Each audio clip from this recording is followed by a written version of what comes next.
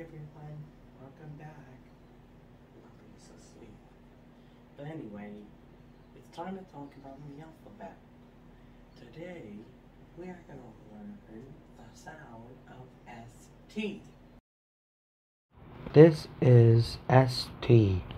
ST makes the st sound, as in step, best, and stairs and straw.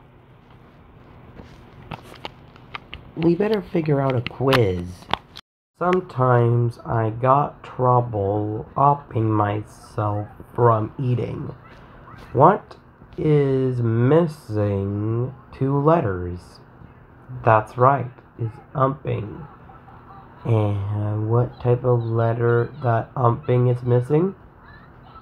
If you answer ST, you'll be right.